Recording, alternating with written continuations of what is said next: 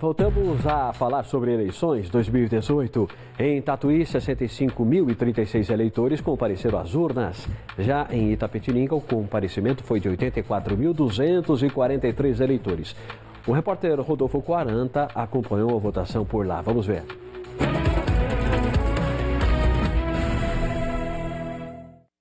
Nem o pé quebrado impediu a Nadir de exercer a cidadania neste domingo. Foi um sobe e desce de escadas, mas no fim deu tudo certo.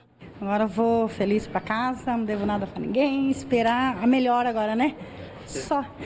Aos 90 anos, seu Amilcar também fez questão de votar. Enquanto der para andar, estaremos aqui. Os dois votaram na Escola Peixoto Gomide, maior local de votação de Itapetininga, com 6.800 eleitores. E nada de filas. Por lá, uma pessoa foi detida na madrugada de domingo por jogar santinhos nas ruas próximas da escola. O homem assinou um termo e responderá ao processo em liberdade.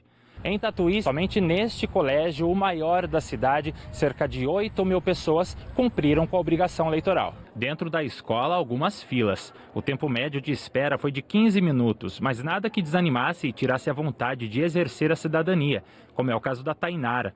Ela levou o filho de 7 anos para acompanhar e ter noção das obrigações que vai ter no futuro. Apesar de todo mundo, bastante gente, não acreditar que pode haver mudança, eu acredito que se a gente escolher certo hoje, alguma coisa vai mudar para melhor. Aos 18 anos, essa é a primeira eleição do Vitor. Para ele, sensação de dever cumprido. Nosso voto que vai decidir o futuro do Brasil, então acho muito importante a gente vir e votar, exercer nosso direito. Do lado de fora, muita sujeira. Santinhos de um candidato da cidade foram espalhados no local. Ninguém foi detido. Em outro ponto da cidade, em frente à escola Lienete Avalone Ribeiro, no Parque Santa Maria, uma moto derrapou e caiu por causa dos papéis. Ninguém ficou ferido.